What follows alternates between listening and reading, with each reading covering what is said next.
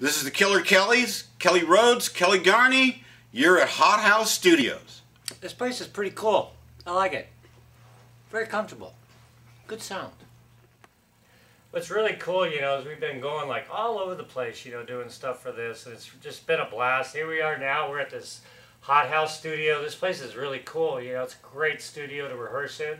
I'm, I'm loving this. I'm loving doing this stuff. What about you? It's great. I'm having a ball. We're we're getting ready to go on a tour of Japan. I mean, it's really uh, it's really kind of hard to believe, but I'm starting to believe it, and I'm really really excited about it.